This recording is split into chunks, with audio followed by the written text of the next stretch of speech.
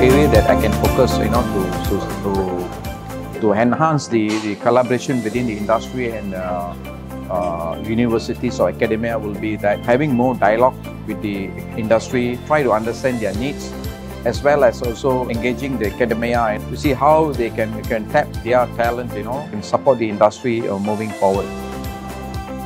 We need industry inputs in regards to our policy making as well. And academician really needs some inputs in terms of making sure that their um, graduates, for example, meet the standards of the industry, as well as making sure that um, what they study um, actually are top-notch and up to the par and standards of the industry. I would highly recommend. I think this is a good platform for the industry and the academics to work together, especially in terms of what we know from the industry and therefore how the academy can fit into the industry demands and all that.